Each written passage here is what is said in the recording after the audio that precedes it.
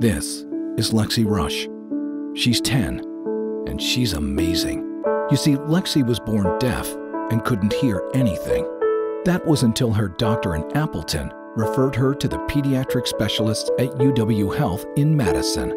Now, two operations later, Lexi can hear everything. Our doctors working with your doctors with amazing results. UW Health. Remarkable.